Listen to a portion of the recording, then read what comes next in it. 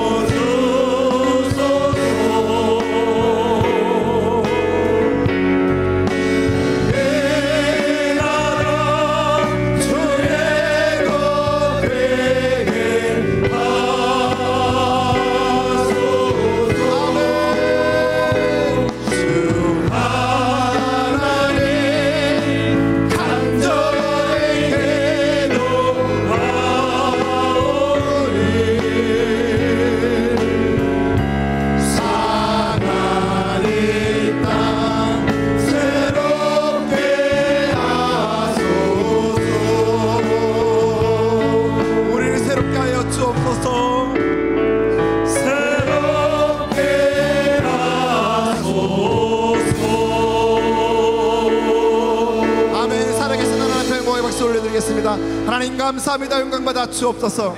아멘. 우리 다 같이 일어나셔서 예수는 그리스도 함께 고백하시겠습니다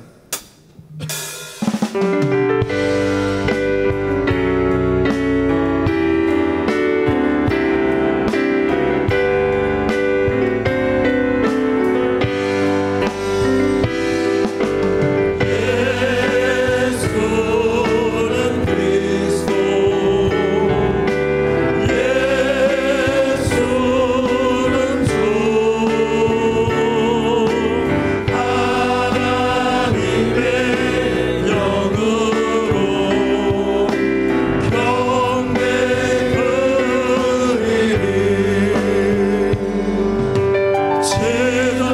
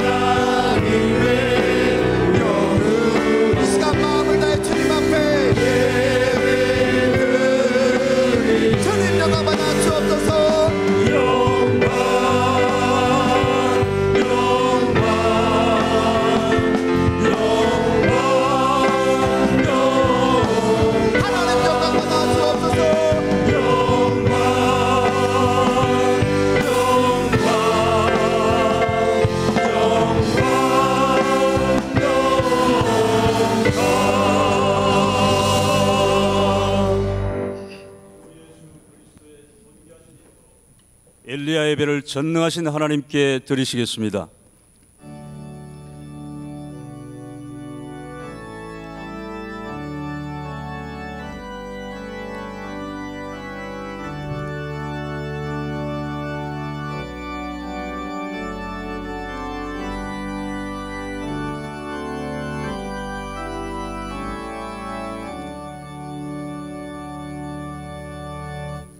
이스라엘아 들으라 우리 하나님 여호와는 오직 유일한 여호와이시니 너는 마음을 다하고 뜻을 다하고 힘을 다하여 내 하나님 여호와를 사랑하라 아멘 다 같이 찬송가 546장을 힘차게 박수 치면서 하나님께 찬양 드리겠습니다.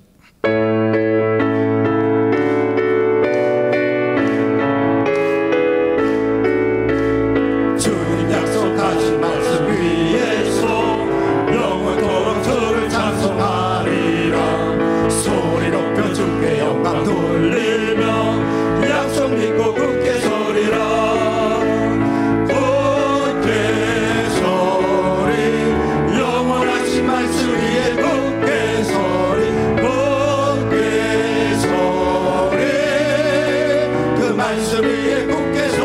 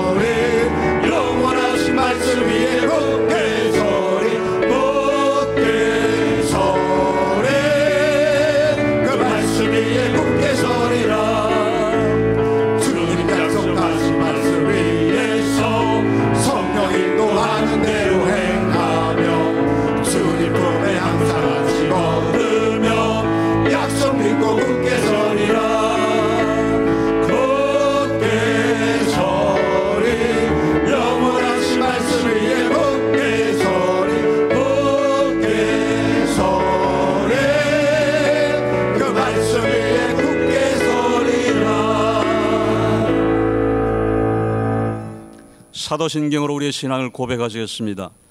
전능하사 천지를 만드신 하나님 아버지를 내가. 이건 성령 믿사오니 이는 성령으로 잉태하사 동정녀 마리아에게 나시고 본디오 빌라도에게 고난을 받으사 십자가에 못 박혀 죽으시고 장사한 지 사흘 만에 죽은 자 가운데서 다시 살아났으며 하늘에 오르사 전능하신 하나님 우편에 앉아 계시다가 저리로서 산자와 죽은 자를 심판하러 오시리라 성령을 믿사오며 거룩한 교회와 성도가 서로 교통하는 것과 죄를 사하여 주시는 것과 몸이 다시 사는 것과 영원히 사는 것을 믿사옵나이다. 아멘. 다 자리에 앉으신 후 노덕섭 장로님 우리를 대표해서 기도해 주시겠습니다.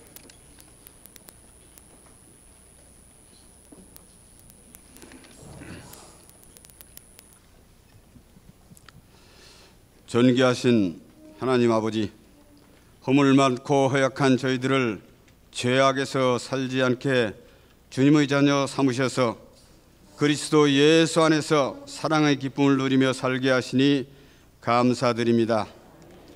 더욱이 완악한 저희 심령을 만나를 통해 주님의 말씀으로 하루하루 깨닫게 하시어 감사하며 행복을 맛볼 수 있게 하시니 더욱 감사드립니다. 이 시간 예배 드릴 때에 은혜와 사랑이 넘쳐 오직 주님께 영광 드리는 복된 예배의 시간 되게 하여 주시옵소서.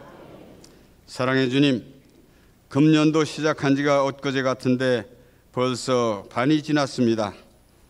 새해를 맞으며 사명 감당을 잘 감당해 보겠다고 다짐했지만 부족하였음을 고백하오니 용서하시어 앞으로 남은 기간 동안 더욱 열심히 맡겨진 사명 잘 감당하며 주님을 기쁘하는 기쁘게 하는 성도 되게 하여 주시옵소서.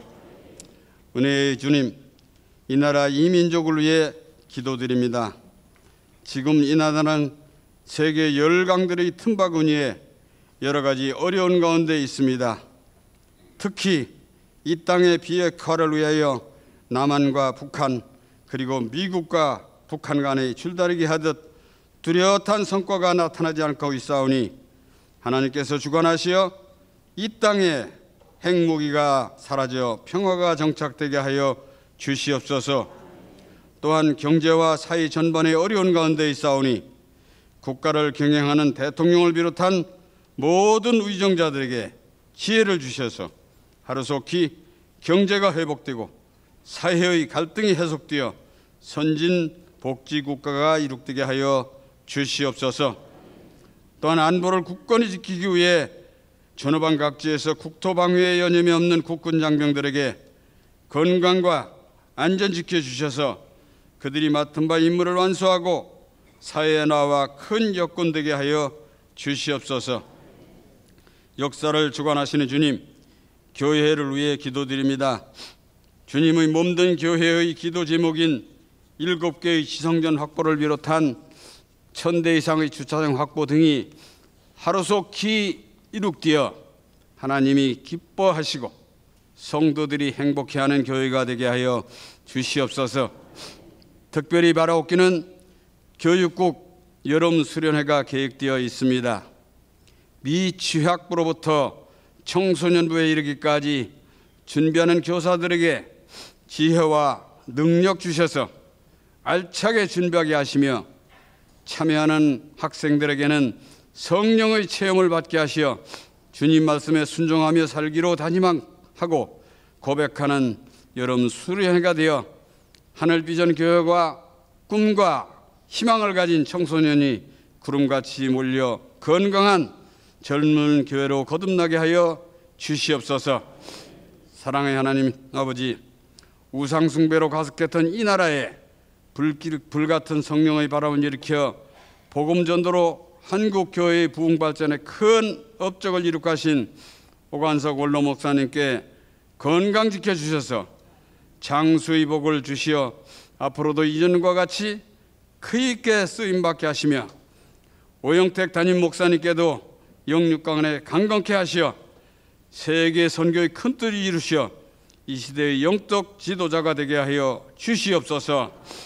또한 담임 목사님을 돕는 부목사님과 전도사를 비롯한 교역자들에게도 맡은 사역 감- 담당하는데 조금도 부족함이 없게 하시어 교회가 날로 날로 발전되게 하여 주시옵소서. 오늘도 단위에서 말씀을 전하실 담임 목사님께 말씀의 권세와 능력 주셔서 답답해하는 심령은 참 평안을 얻게 하시고 외로워하는 심령은 위로를 받아 소망이 넘치게 하시며 지치고 방황하는 심령에게는 믿음과 용기를 주셔서 범사에 복된 삶을 살 수 있는 은혜의 예배가 되게 하여 주시옵소서. 이 시간 다친 마음은 활짝 열게 한 경찬팀과 희온 찬양대의 은혜로운 찬양이 하나님께는 영광이요 목사님께는 힘이 되시며 성도들에게는 은혜의 찬양 되게 하여 주시옵기를 바라며 예수님의 이름으로 기도드립니다. 아멘.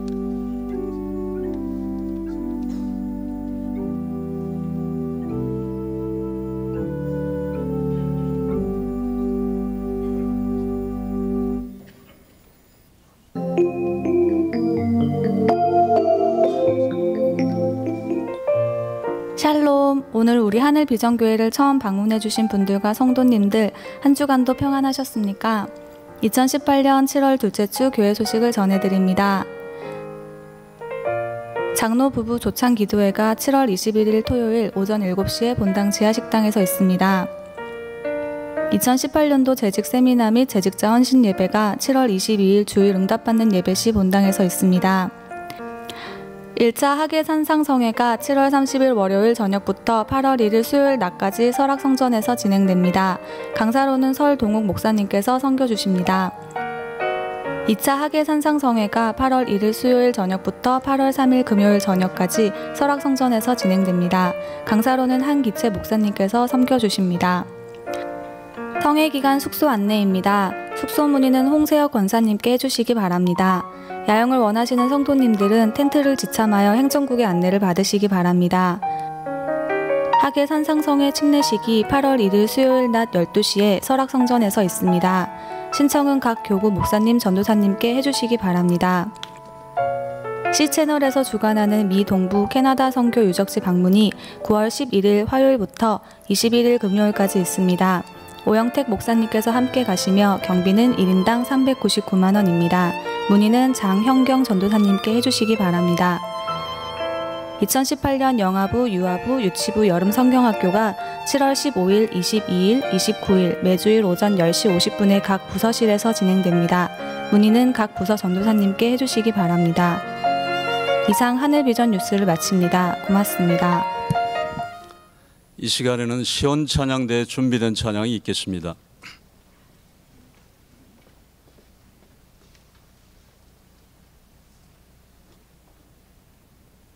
백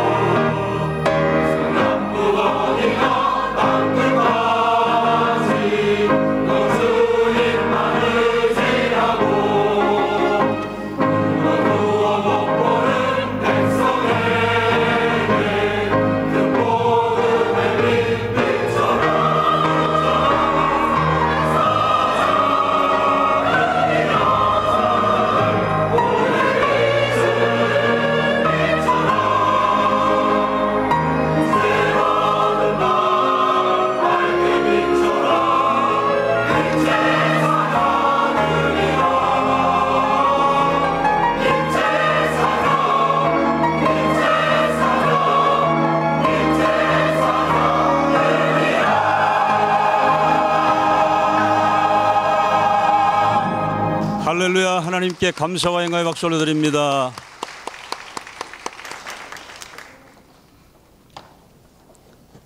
이 시간 우리에게 허락하신 하나님의 말씀은 신약 성경 316면에 있는 에베소서 6장 10절로 20절까지의 말씀입니다. 에베소서 6장 10절로 20절까지의 말씀을 제가 봉독하겠습니다. 겉으로 너희가 주 안에서와 그 힘의 능력으로 강건하여지고 마, 마귀의 관계를 능히 대적하기 위하여 하나님의 전신갑주를 입어라. 우리의 씨름은 혈과 육을 상대하는 것이 아니요 통치자들과 권세들과 이 어둠의 세상 주관자들과 하늘에 있는 악의 영들을 상대함이라. 그러므로 하나님의 전신갑주를 취하라. 이는 악한 날에 너희가 능히 대적하고 모든 일을 행한 후에 서기 위함이라.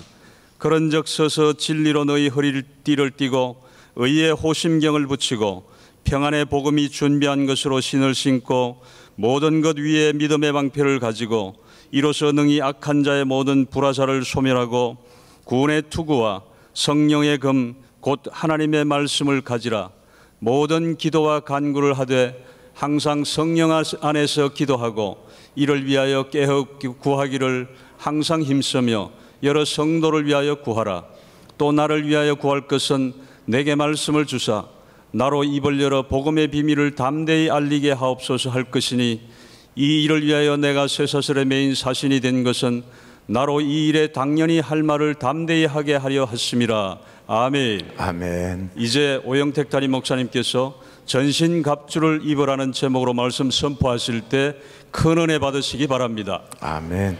우리 옆에 분들하고 인사 나누시겠습니다. 사랑합니다. 행복하세요. 이쁘십니다. 멋지십니다.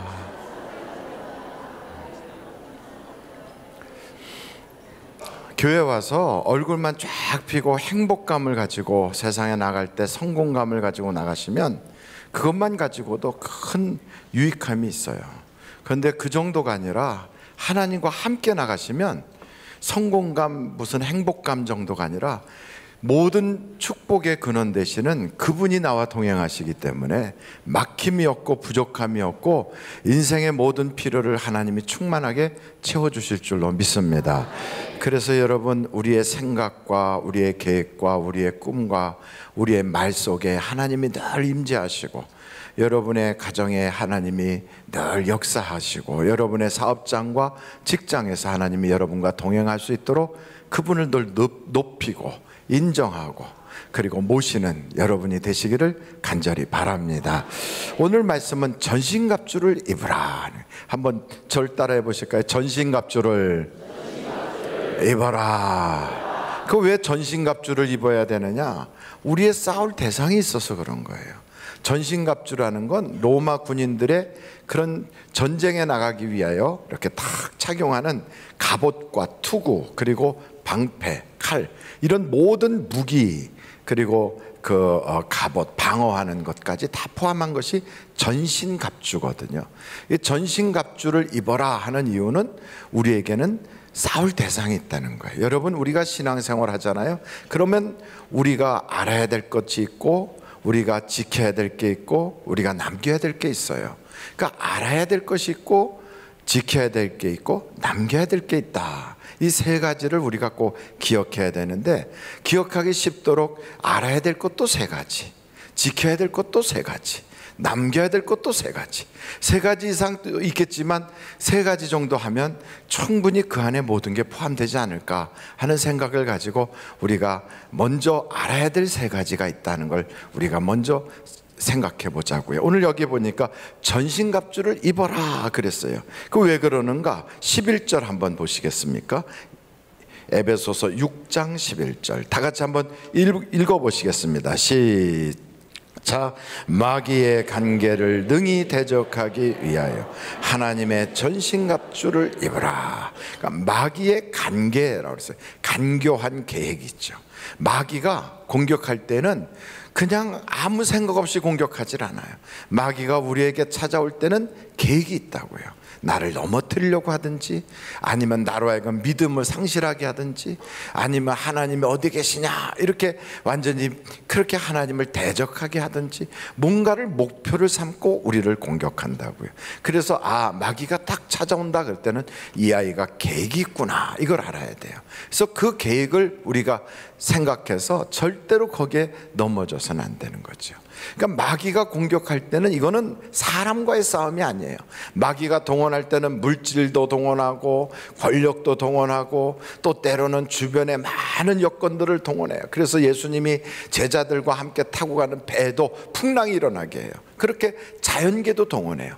그렇지만 때로는 사람을 동원해요. 마귀가. 그래서 사람들로 하여금 자꾸 분란을 일으키게 하고 대적하게 하고 나로 하여금 행하는 일에 왜곡하고 미움을 자꾸만 던져놓고 그럴 때가 있어요.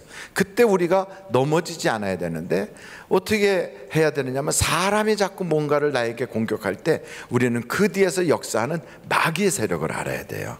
그래서 사람을 미워하지 말고 아 이거는 혈과 육의 싸움이 아니구나. 이거는 사람을 동원하는 어둠의 영들과의 싸움이구나. 이걸 알고 사람은 미움의 대상이 아니라 사랑의 대상이라는 것을 여러분들이 꼭 기억하십시오. 사람은 믿음의 대상도 아니에요. 사람은 미움의 대상은 물론 아니에요. 사람은 사랑의 대상이에요. 그 마귀가 이런 여러 가지 계획을 가지고 우리에게 막 공격할 때 우리가 또 기억해야 될 것은 악한 날이 있다는 걸 알아야 돼요. 여러분 어떤 때는 일이 잘 안 풀려요. 막 어두워요. 계속 겹치고 겹쳐요. 그래서 그런 일이 계속 겹칠 때, 아, 내 인생에 지금은 밤이로구나. 악한 날이 있구나. 이걸 아셔야 돼. 그러나 절망할 필요가 없어요. 밤은 지나갑니까? 계속 어둠입니까? 참 감사한 건 우리나라가 러시아가 아니라는 게 감사해요. 러시아는 백야 그가 있고 또 밤만 또 한 6개월 되는 때가 있고 그렇다고 그래요. 저는 거기를 안 가봤지만 그냥 낮인지 밤인지 모르도록 그냥 낮으로 쭉 가서 카텐 닫아놓고 자야 되는 그런 때가 있는가 하면 계속 밤도 있고 그렇대. 근데 우리나라는 낮과 밤이 싹싹 바뀌잖아요. 여러분 내 인생에 어둠이 찾아왔어도 아침이 되면 밝아지는 거예요. 그래서 다윗은 이렇게 고백해 내가 새벽을 깨우리로다. 여러분 내 인생에 어둠이 찾아왔어요. 그때 하나님께 매달려 기도하면 그 어둠의 날 그리고 그 악한 그때가 지나가게 돼요. 그래서 기도는 엄청난 능력이 있는 거예요. 여러분 마귀하고 싸울 때 내 생각으로 싸워서는 안 돼요. 마귀가 때로는 교회 안에서 분란을 일으킬 때도 있어요. 혹은 기관이나 부서에서 분란을 일으킬 때 있어요. 거기서 자꾸 문제를 일으킬 어떤 사람을 통하여 그렇게 막 이게 분란 일으킬 때도 있어요. 우리 하늘 비전 교회는 그런 일이 없지만 저 다른 아프리카에 있는 교회는 그런 일이 있을 것 같아요. 이런 일이 생길 때 사람 생각으로 그리고 우리가 생각할 때 이게 옳은 일이다 생각해서 하게 되면 꼬여요. 자꾸 꼬여요. 그리고 오해하고 곡해하고 사람과 사람 사이에 갈등이 깊어져요. 그래서 마귀하고의 싸움은 다른 무기가 없어요. 기도밖에는 없어요. 기도밖에는. 그래서 여러분의 가정에서 이런 마귀의 세력을 몰아낼 때도 성경은 우리에게 뭐라고 표현하냐면 기도 외에는 이런 유가 나가지 않는다. 여러분 기도하셔야 돼요. 한번 절달해 볼까요? 기도하면 마귀를 이긴다. 여러분 기도로 이기는 거예요. 그래서 어떤 사람이 막 부서에서 분란을 일으키고 말쟁이가 끼어서 이상한 말을 자꾸 만든다. 그거 쫓아다니면서 그 사람한테 따지고 들고 그럴 이유가 없어요. 하나님, 이 어둠의 영이 우리 부서에서 떠나가게 해주시고 어둠의 영이 우리 가정에서 떠나가게 해주시고 어둠의 영이 우리 삶의 터전에서 떠나가게 해달라고 하나님께 기도하면 마귀의 세력은 내 힘 가지고 싸워 이길 수가 없어요. 영적인 세력과 우리는 물질계에 속해 있는 우리와 싸워서는 우리가 이길 수가 없어요. 그래서 우리를 대신하여 싸워주는 분이 계세요. 그분이 누구냐? 우리의 왕이신 예수 그리스도시라 이 말이에요. 그분이 내가 세상과 싸워 이겼다 그랬으니까 마귀의 권세를 그분이 이길 수 있어요. 그래서 주님께 부탁하는 거예요. 주님께 내 인생의 모든 문제를 부탁하면 주님이 뭐라고 말씀하시냐면 그 싸움은 이제 너의 싸움이 아니라 나의 싸움 싸움이다. 그 주님이 맡아주시는 거예요. 수고하고 무거운 짐진 자들아. 우리 인생의 모든 무거운 것들을 주님께 맡기는 거예요. 맡기는 방법은 간단해요. 예수님, 내가 이런 이런 문제로 고민하고 있어요. 예수님, 내가 이런 이런 일을 계획하고 있어요. 예수님, 내가 이런 꿈을 꾸고 있어요. 하나님, 이 일이 이루어지게 해주세요. 이런 일이 나, 나에게 가까이 오지 않도록 막아주세요. 이런 문제가 나를 피해가게 하나님 피할 길을 주세요. 이렇게 기도하면 하나님은 우리의 그 기도에 응답 주시는 걸 믿으시길 바랍니다. 그래서 알아야 될 것 세 가지가 있어요. 뭐냐? 첫째, 마귀는 계획을 가지고 찾아온다. 두 번째, 마귀는 사람과 사람 사이의 싸움이 아니라 그 영적인 싸움이니까 사람 비호해서는 안 된다. 그리고 세 번째, 악한 날이 있다. 이 악한 날에 내가 아무리 혼자서 무슨 별소리 다 하고 별일을 다 하고 내가 발버둥 쳐도 안 돼요. 기도밖에는 안 되는 거예요. 기도할 때 그 악한 때가 지나가는 것을 믿으시기를 간절히 바랍니다. 우리가 이럴 때 꼭 알아야 될 세 가지뿐 아니라 어떻게 싸워야 되는지 그 꼭 우리가 이것도 또한 우리가 알아야 돼요. 지켜야 될 세 가지가 있는데 오늘 이 말씀을 한번 같이 보실까요? 같이 말씀 에베소서 6 장 보시겠어요. 13절입니다. 13절. 다 같이 한번 읽어 보실까요? 시작. 그러므로 하나님의 전신갑주를 취하라. 이는 악한 날에 너희가 능히 대적하고 모든 일을 행한 후에 서기야 함이라. 우리가 지켜야 될 것 세 가지 중에 첫째, 모든 일을 행한 다음에 넘어지지 말아야 돼요. 서 있어야 돼요. 여러분 우리가 교회를 다 해놓고 나서 임기 끝나고 나서 그냥 시험 들어서 그냥 퍽 넘어져서 내가 다시는 하나 봐라 이러면 그 한 모든 것이 다 소용이 없어지는 거예요. 그래서 마귀는 우리로 하여금 그렇게 넘어지게 하는 거예요. 신앙에 넘어지게 하고 인간관계에서 넘어지게 만들고 하나님 앞에 딱서 있질 못하고 비틀비틀거리게 만들어요.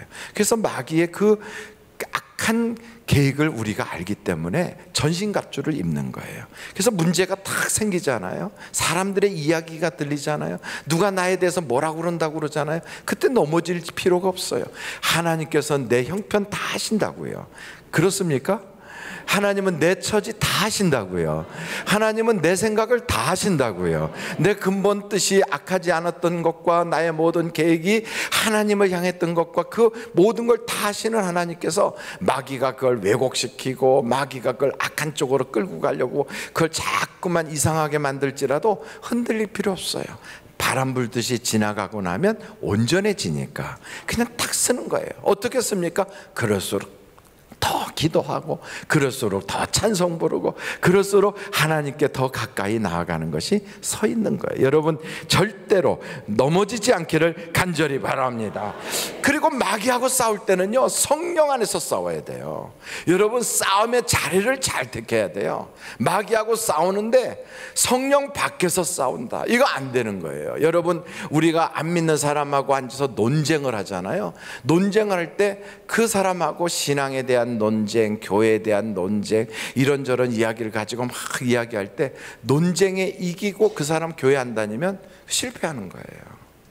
우리가 다른 사람과 대화하는 모든 목 적은 어디에 있느냐? 구원시키려고 하는 거예요. 그래서 가족 간에 이야기할 때도 막 교회에 대해서 누가 비난하잖아요. 그러면 아, 그래. 나도 생각할 때 그런 건 문제가 있는 것 같아. 그러면서 그걸 뭐라고 막 그럴 필요 없어요. 왜냐하면 문제 없는 교회는 없으니까. 문제 없는 사람이 없듯이 그런 사람들이 모여 있는 교회는 항상 문제가 있게 돼 있어요. 그래서 교회에 대해서 막 비난하고 그러면 맞아 맞아 그런 부분이 안 됐지. 그러니 당신 이 나와서 우리 교회를 한번 새롭게 해봐야 되지 않을까? 그렇게 말을 할 수 있는 거죠. 또 막 뭐라고 막 교회 욕을 하면 맞아 맞아 사람 보이는 데는 다 그러는 거지. 그런데도 그 안에 하나님의 은혜가 있으니까 거기서 그런 사람들 보지 말고 우리 주님 만나보면 어떨까? 그래서 성령 안으로 끌고 들어가야 돼요. 아무리 그 사람하고 해갖고 막 이론적으로 이기고 나서 그 사람 교회 안 나온다? 그럼 시, 실패한 거예요. 문제는 어떻게 풀어야 되느냐? 그 사람으로 하여금 예수 믿게 하면 되는 거예요. 여러분, 예수를 믿게 하는 것은 내 말주관으로 하는 게 아니고요. 나의 논리가 아니에요. 성령께서 도와주셔야 예수를 믿게 되는 거예요. 그래서 여러분 한번 고린도 전서를 찾아보시겠어요? 고린도 전서 12장 3절이에요. 고린도 전서 12장 3절.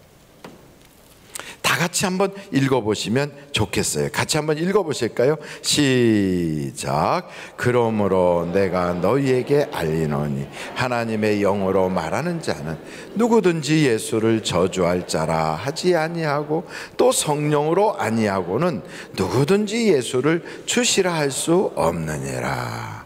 그러니까 예수님을 주님이라고 고백할 수 있는 건 성령이 들어가셔야 돼요. 그러니까 여러분 우리가 그 성령을 동원해서 무슨 일이든지 해야 돼요. 교회에서 일할 때도 성령 충만한 가운데 해야지요. 내 재주로 하고 나의 어떠한 신념으로 하고 그러면 실패해요. 교회 봉사일수록 더욱더 그렇습니다. 내가 취미 생활이 그러니까 한다. 그것 가지고 안 돼요. 교회는 동창회가 아니고요. 교회는 개모임이 아니거든요. 교회는 하나님이 머리가 대신 하나님의 몸이거든요. 그래서 이 모든 것은 성령으로 하셔야 돼요. 그렇지 않으면 100% 실족하고 100% 넘어지게 돼 있어요. 그래서 교회 일을 하면 할수록 점점 실망하고 마음속에 아픔이 생기고 상처가 되는 이유는 딱 하나예요. 사람 생각으로 해서 그래요. 성령으로 하시면 절대로 실망하지 않아요. 또 실족할 이유도 없어요. 하고 나면 성령이 나로 하여금 기쁘게 만드시거든. 그래서 여러분 때로는 우리가 세상에 살면서 당하지 않을 고난을 예배당 안에서 교회 안에서 당한다. 그때 여러분 다른 사람 같으면 야 이렇게 할 텐데 성령 안에서 일하는 사람들은 그걸 기꺼이 받아요. 그래서 다윗은 뭐라고 말하냐면 의인이 나를 칠지라도 내가 그것을 거역하지 아니하고 내 입술을 지키며 하나님께 도리어 감사리다 그랬어요. 자기가 이유 없이 말을 매를 맞아요. 그런데도 하나님께 감사한대요. 사도들도 그랬어요. 복음 전하다가 억울하게 감옥 갔어요. 그런데도 그들은 뭐라 그래요? 하나님 일 때문에 내가 고초를 당하게 하시니 나를 그런 일로 써주셔서 감사합니다. 여러분 이게 바로 성령 안에서 일하기 때문에 그래요. 그러지 않으면 어떻게 찬송하겠어요? 전도하다가 빌립보 감옥에 탁 들어가 있어요. 매를 맞았어요. 야, 하나님이 살아계시면 어떻게 이럴 수 있어? 이런 얘기 금방 나올 만해요. 하나님이 도와주시고 하나님이 일을 했는데 왜 내게 이렇게 되는 거야? 이렇게 나올 수 있어요. 근데 그렇지 않아요. 성령으로 하게 되면 그것도 감사하게 되는 거예요. 그것도. 그래서 여러분 성령으로 우리가 마귀와는 싸워야 돼요. 그래서 교회 다니는 사람은 뭐가 충만해야 돼요? 성령이 충만해야 돼요. 그래서 우리는 늘 교회에서 무엇을 요청하냐면 하나님 성령으로 충만하게 해주소서. 오늘도 성령으로 충만하게 해주세요. 성령으로 충만해지면 마귀와의 싸움에서 늘 이기게 돼 있어요. 왜 전신갑주를 입어야 되느냐? 전신갑주가 뭐예요? 머리에는 의에 투고 가슴에는 흉배 그리고 진리의 허리띠, 그 구원의 투구와 의의 흉배와 진리의 허리띠 그리고 그 화평의 신발, 믿음의 방패 무슨 뭐 말씀의 검, 성령의 검을 가져라 이렇게 되어 있지만 이 모든 것을 왜 하느냐? 그 안에는 성령으로 성령으로 하는 거예요. 그래서 여러분 예수 믿는 건 딱 한 분만 잘 모시면 돼요. 성령 잘 모시면 돼요. 성령을 근심시키는 건 잘못하는 거예요. 그래서 우리가 꼭 우리가 지켜야 될 세 가지 중에 첫째는 넘어지지 말아야 되고 두 번째는 성령 안에서 행해야 되는 걸 우리가 알아야 돼요. 그리고 성령 충만해지려면 다른 방법이 없어요. 우리 성경엔 뭐라고 표현하고 있냐면 기도해야 성령으로 충만해진대요. 그래서 우리에게 이렇게 표현하잖아요. 문을 두드려라. 그리하면 하나님께서 열어주신다는 거예요. 너희가 구할 때 아버지께 아들이 생선을 달라 하면 누가 뱀을 주고 떡을 달라 하면 누가 돌을 주겠느냐? 하물며 아들인 너희가 하나님께 구하면 성령을 주시지 않겠느냐. 여러분 기도해야 성령 주시는 거예요. 교회 다니면서 기도하지 않는 사람이 있어요. 그 사람은 교회 안 다니는 거와 별로 다를 바가 없어요. 성경에 보면 기도하지 않은 그런 대표적 인물이 있는데 엘리에 엘리. 한번 절 따라 해 볼까요? 엘리. 다시 한번 엘리. 엘리의 장점은 뭐냐? 늘 의자에 앉아 있는 거예요. 의자에 앉아 있어요. 근데 기도했단 말은 없어요. 재단 옆에 의자에 앉아 있어요. 그리고 전쟁 나간 사람들이 좋은 소식 오기를 의자에 앉아 있어요. 누가 뭐라 그러면 의자에 앉아 있어요. 이 사람은 의자에 앉아 있는 사람이에요. 근데 기도는 안 해요. 교회 와서도 똑같아요. 의자에 앉아 있어요. 밥 먹으러 가서 의자에 앉아 있어요. 예배 드리러 가서 의자에 앉아 있어요. 집에서도 이 소파에 앉아 있어요. 근데 그는 평생 기도는 안 해요. 그게 엘리예요. 그래서 엘리는 하나님의 음성을 못 들어요. 하나님의 뜻도 알지 못해요. 그 집에서 지금 얹혀 살고 있는 사무엘은 하나님이 사무엘아 하고 부르는데 그 같은 공간에 있으면서도 하나님의 음성을 못 들어요. 하나님께서 사무엘을 통하여 엄청난 역사를 이루려고 계획하고 있는데 엘리는 그 모든 일에 제외되고 있어요. 얼마나 비참합니까?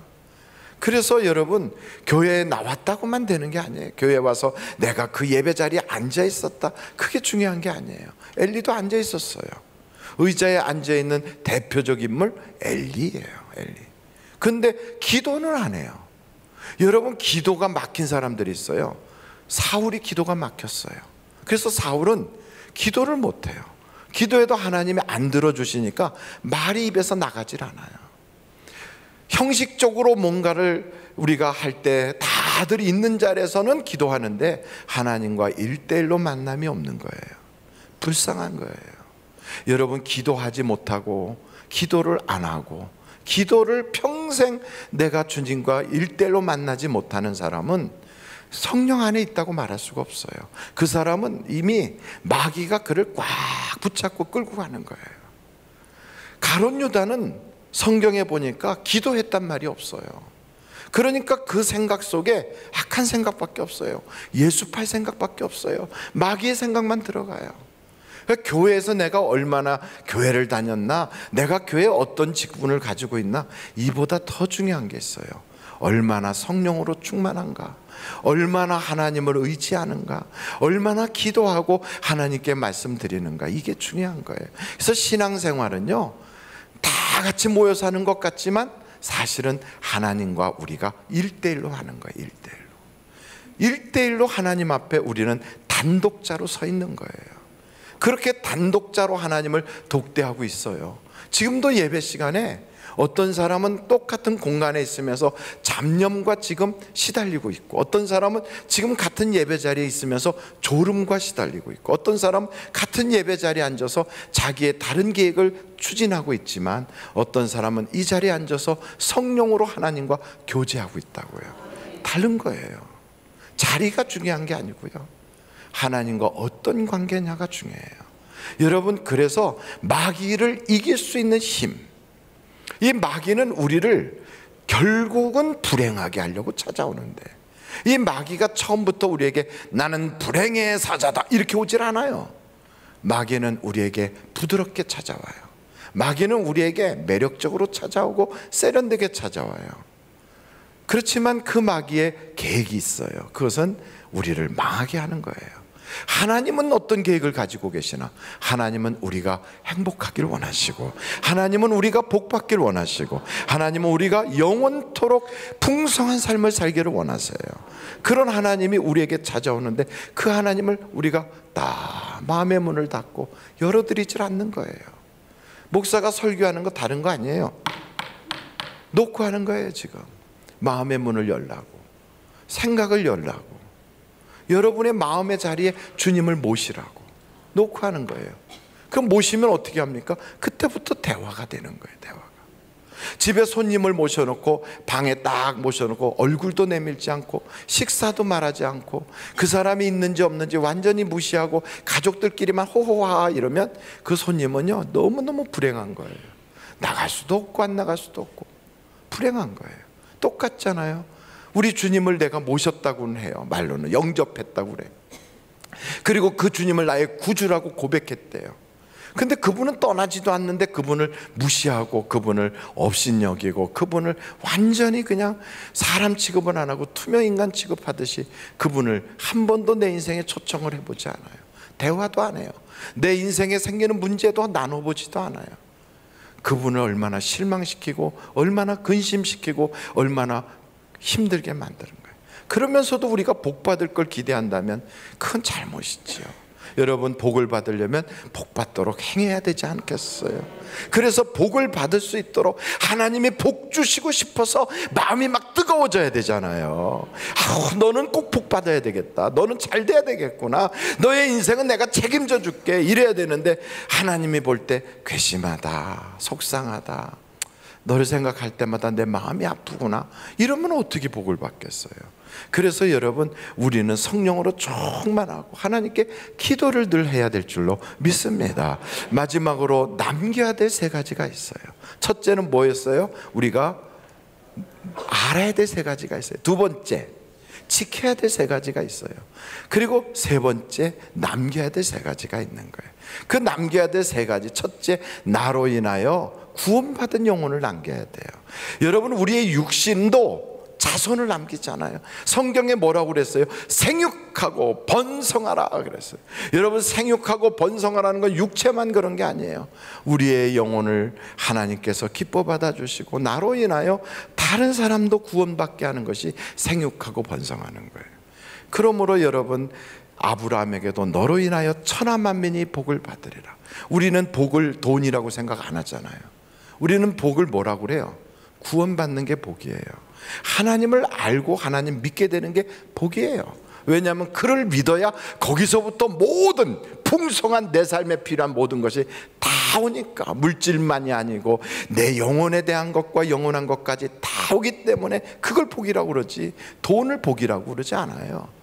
명예 하나 얻었다고 그걸 복이라고 그러지 않아요. 그것도 물론 좋은 거지만 그러나 그것뿐이 아니고 하나님에겐 모든 것이 다 있단 말이에요.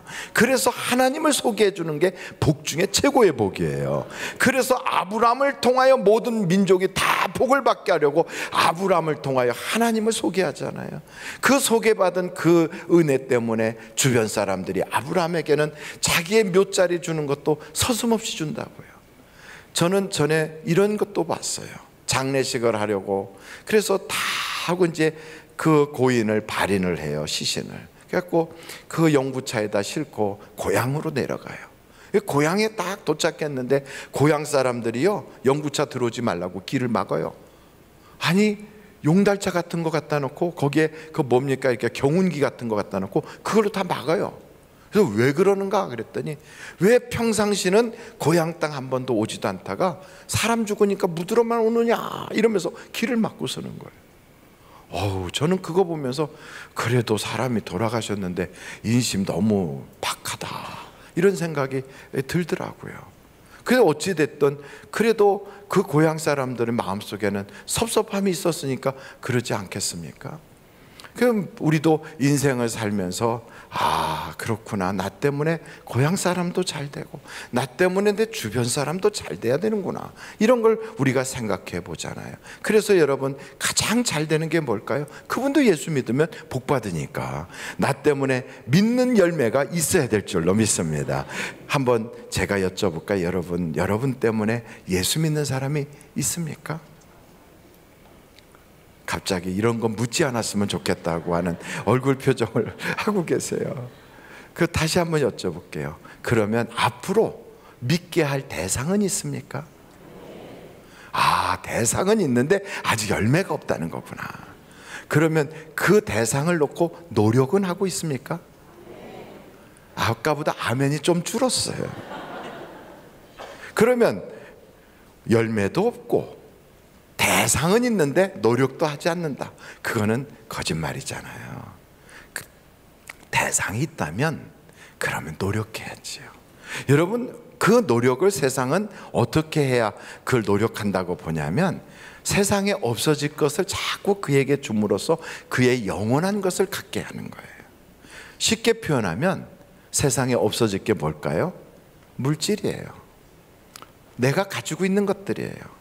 그 자꾸 줌으로써 그 사람이 영원한 것을 가질 수 있도록 마음의 문을 열어주는 거예요. 그래서 예수 믿는 사람은요, 돈 벌어도 쓸 데가 많아요. 그래서 그런 일에 쓰겠다고 하나님께 돈 달라고 하면 하나님이 물질 주시게 돼 있어요. 또 우리가 좋은 자리 있으면 하나님이 그 자리를 통하여 하실 일이 많은 거예요. 전에 검사로 계셨던 분이 그런 말씀 하더라고요. 검사로 있으면 그걸 저 재판에 올릴 것인지 말 것인지 그를 검사의 손에서 결정을 한다네요.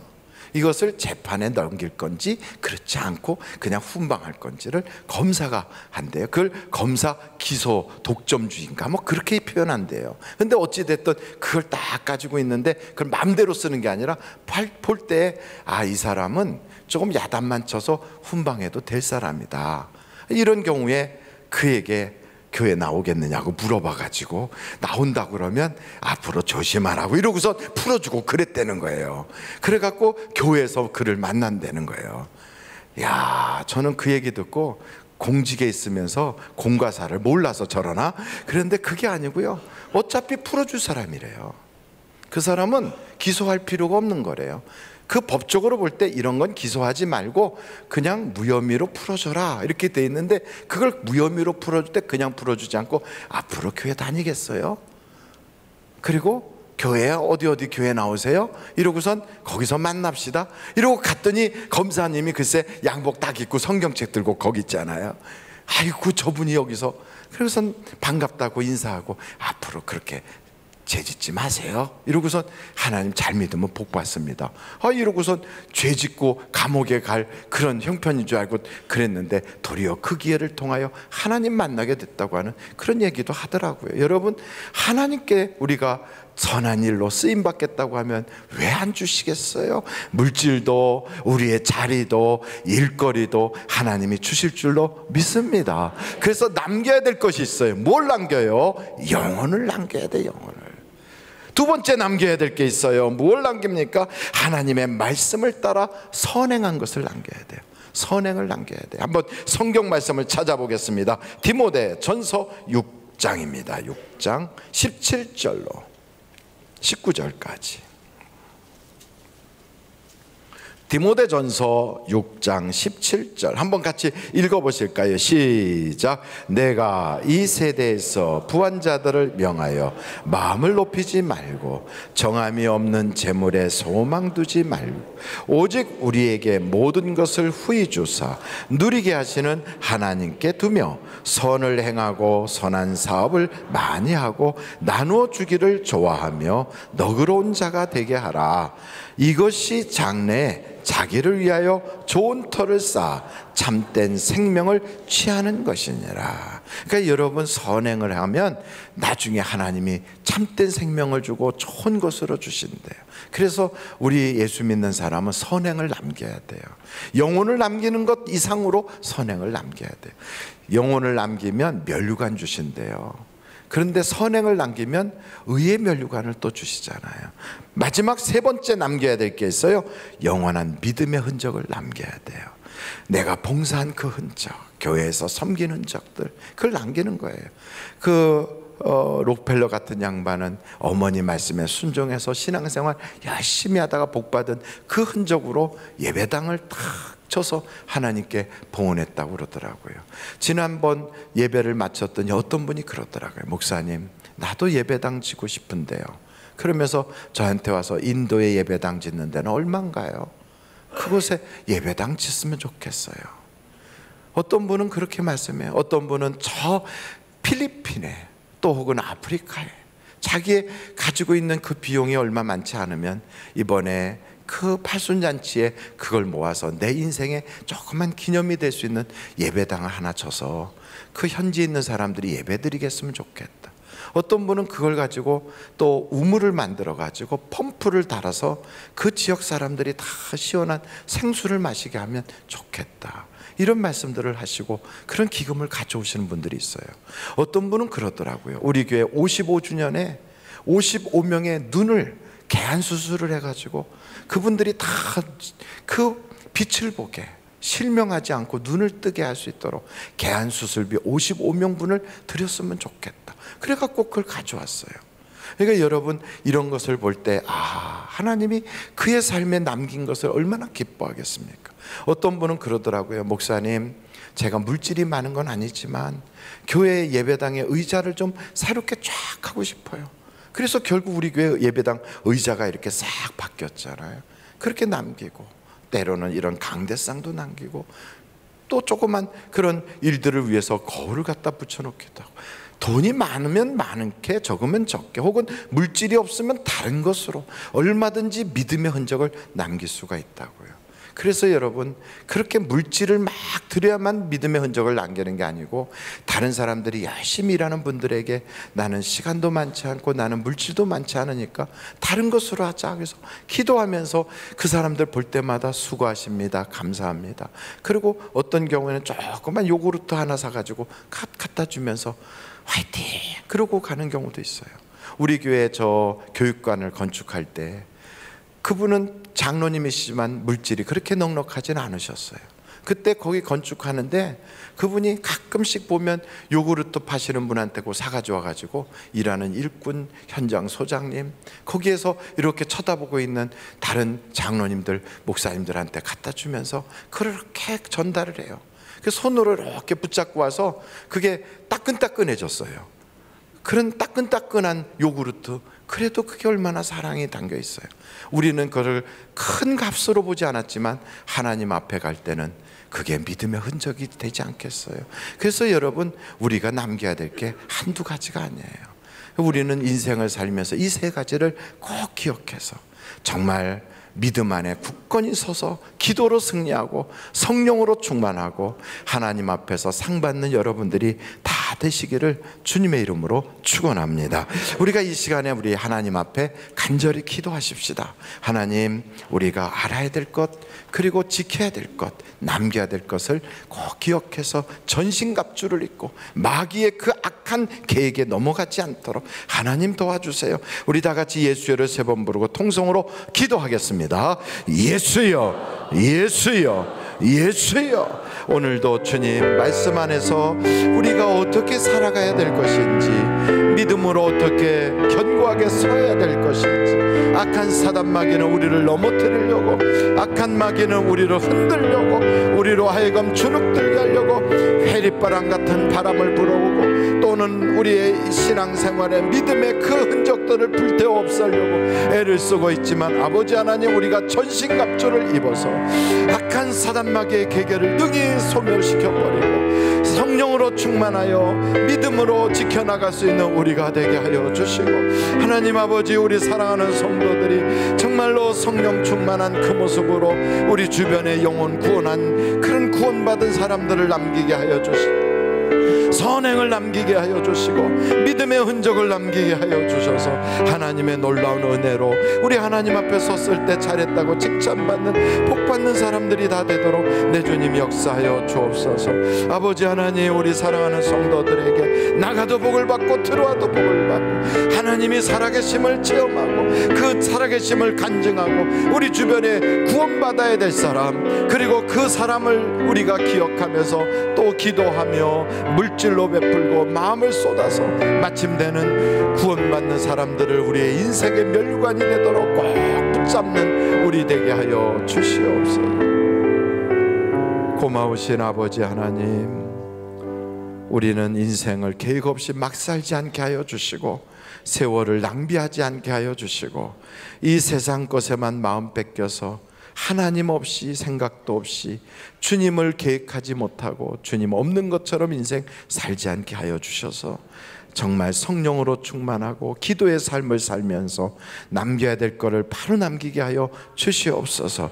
구원받은 영혼들을 남기게 하여 주시고 우리의 선행을 남기게 하여 주시고 믿음의 증거들을 남기게 하여 주셔서 우리의 믿음의 흔적들이 하나님 앞에 보고할 거리가 되도록 내 주님 역사하여 주시옵소서. 예수님의 이름으로 기도하옵나이다. 아멘. 잠시 묵상 기도하시겠습니다 오늘 우리 하늘 비전 교회 오셔서 나도 이 교회 교인 되기를 원합니다 하시는 분이 계시면 이 시간에 손을 들어서 표해 주시기를 바랍니다. 예, 감사합니다. 감사합니다. 이제 하나님 앞에 봉헌하는 시간을 갖도록 하겠습니다. 지금의 권사님 이은희 집사님 위암 빨리 발견하게 해주셔서 수술 잘하게 해주신 감사합니다. 속히 완쾌 되시, 될 줄로 믿습니다. 범사에 감사합니다. 권사님께서 감사의 말을 드리셨습니다. 임광재 장로님 하나님 은혜 가운데 수술 잘 마치고 더욱 건강한 몸으로 예배드리게 해주시니 감사합니다. 하나님께 감사를 드리셨습니다. 여러분 주님 앞에 봉헌할 헌금을 한번 손으로 꼭 붙잡으십시오. 이 시간에 같이 기도하겠습니다. 하나님 아버지, 감사합니다. 세상에 물질 없이 살 수 없고 또 이 세상에 우리가 주님 앞에 드리는 것 남아서 드리는 것이 아니라 힘든 가운데도 주님께 드리고 싶어서 또 잘라서 드립니다. 이 물질 속에 우리의 땀이 배어 있고요. 때로는 우리의 눈물도 있습니다. 하나님 그래도 우리가 소원을 담아 드립니다. 이 소원이 이루어지게 하여 주시고 물질의 모든 묶인 것이 풀어지게 하여 주시고 문제가 해결받게 하여 주옵소서. 마음의 소원을 하나님께서 하시고 우리의 형편을 하시는 주님께서 그 모든 것에 갑절로 복을 주시되 30배, 60배, 100배의 복이 있게 하여 주시고 또한 아버지 하나님 심고 거두는 법칙에 따라서 심은 대로 거두되 풍성하게 거두게 하여 주옵소서. 또한 아버지 하나님 우리 인생의 물질의 저주는 떠나가 버리게 하여 주시고 풍족하여 마음껏 드리고 선한 일에 쓰임 받는 우리 되게 하여 주시고 헌금면 자욱자욱 은혜 되게 하여 주시며 주님 앞에 찬양하며 협조하는 오케스트라 팀 하나님께서 그 음성과 그 모든 음악을 주님 기뻐 받아 주시고 하나님의 신령한 은혜를 더하여 주시며 우리에게도 큰 은혜가 되게 하여 주옵소서. 예수님의 이름으로 기도하옵나이다. 아멘. 드릴 수 있게 하신 하나님께 감사 영광 올립니다.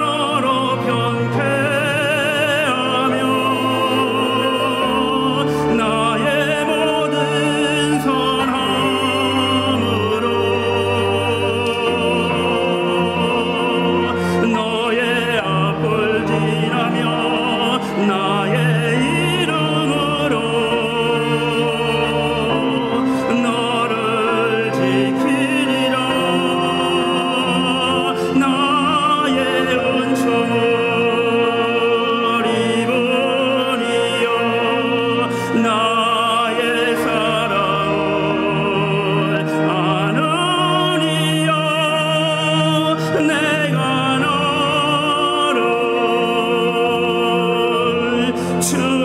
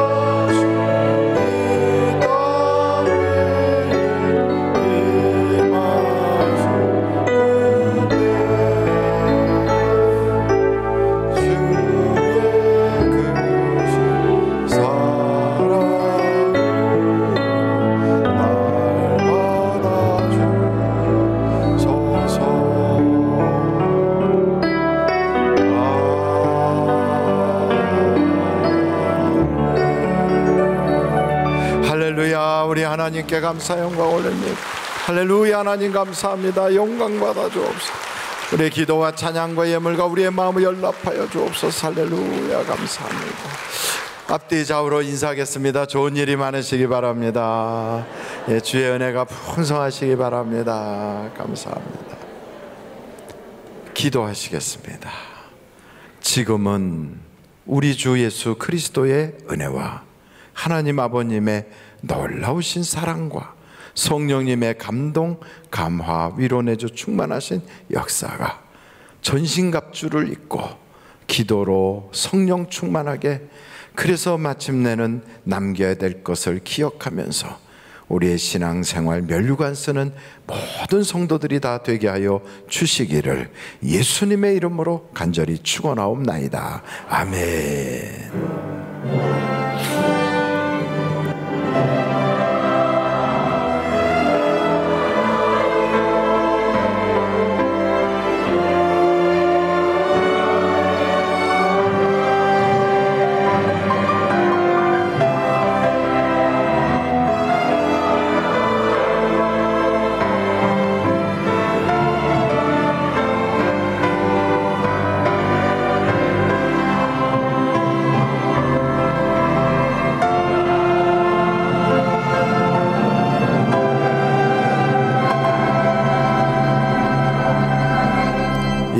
마쳤습니다. 대단히 감사합니다.